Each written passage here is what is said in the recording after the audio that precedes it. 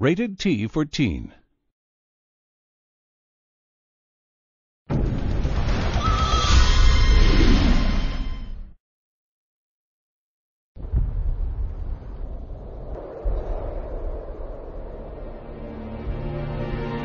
Hi and welcome to the first of five videos that will show you how to play World in Conflict.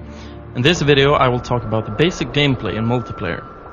When you first join a server, you're asked to join a faction. There are always two sides to choose from and you can either select the side by yourself or click on automatic team to join the team with the least number of players. After choosing a faction, you pick the role you will be playing in the game. The game consists of four different roles. We have infantry for soldiers, trucks and jeeps, support for various supportive vehicles, armor for tanks and APCs, and air for helicopters of different kinds.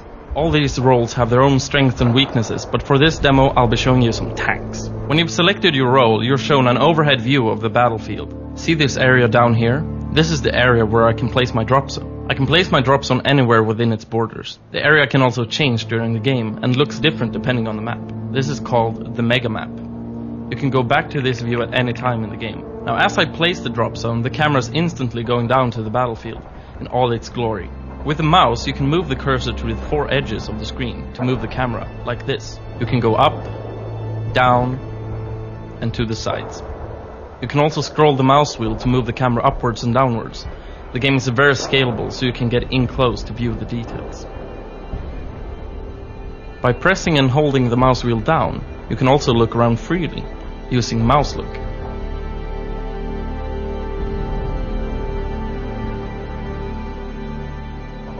By default, you move the camera around by pressing the W, A, S and D keys, like in your typical PC shooter.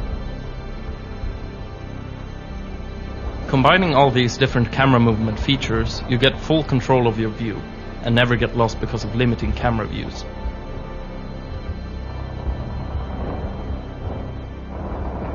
But we're not here on a vacation, we're here to fight a war, and to do that we need some units. Units are ordered through the reinforcement menu, which is displayed in the top right corner here. Here you can see the units that are available to your role. Each role has unique types of units. But you can also click these tabs to see units from other roles that are available to you. As you can see, not all units are available, and that's because they're exclusive for their particular role. Since I'm playing armor, I get all the tanks and APCs available. Right at the top you can see your reinforcement points, which are used to purchase units. Click on one unit and the points will be temporarily drawn from your point bank. You can see the units you plan to order down at the bottom here. To cancel it, just click on them and the points will be returned. You can combine these points however you want, and you can even combine units from different roles. But it's worth noting that the units outside of your role are more expensive, and that it can weaken the properties of your role for the team.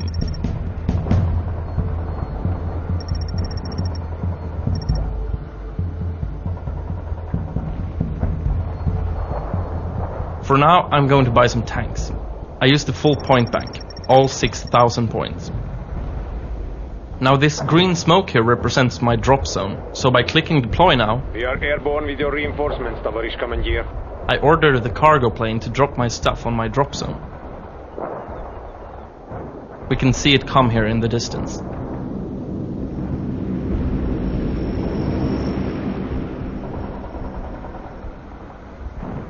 Alright, tanks. Now's a great time to show you how unit control works. Using the mouse, I can left click and select singular units, or left click and drag to make a selection box around them. I can also double left click on a unit to select all of the units of the same exact type. At the bottom here are icons representing every unit as well, and I can do the same thing here. As for movement, you use the right mouse button and click on the ground. The units you've selected will go wherever you right click. Medium armor moving to the destination. Armor moving out. Heavy armor here. You can also right click on the units to move the camera to those particular units. Or double right click to have the camera follow them automatically. Yes, heavy armor, on the move. And while driving might be fun, they have those guns for a purpose. This is war after all, and it's time to put these tanks to good use. Up ahead is a command point. In this particular game mode, the map is won by capturing and controlling command points that are spread out over the map. To capture a command point, you have to bring units into the connected circles, like these two. Oh wait a minute. Looks like the enemy is onto this one here. The red color of this leftmost circle shows that there's an enemy presence there. About time to head in for an attack. T-64, ready for battle. At the moment, I can't see the enemy because the hills are blocking my view.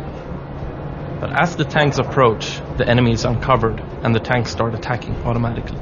That tank is shooting at us. Now I'm not about to leave it up to my men to do this by themselves, so I'll make sure to move the tanks around a bit and flank the enemy. I can also focus their fire on specific enemies by selecting them and right clicking on the enemy. These enemy tanks are going to bite the dust. Our tracks are rolling.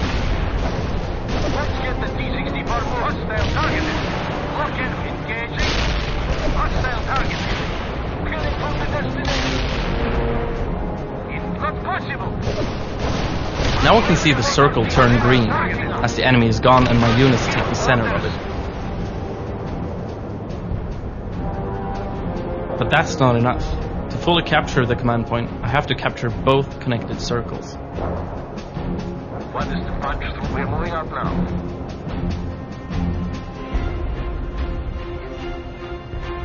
Give us the command. We can roll on the tracer steady. Everybody's coming in. Armor, we're, we're, we're moving out now. By doing this, the domination bar in the top middle will push to my favor, and if pushed far enough as the time runs out, my team wins.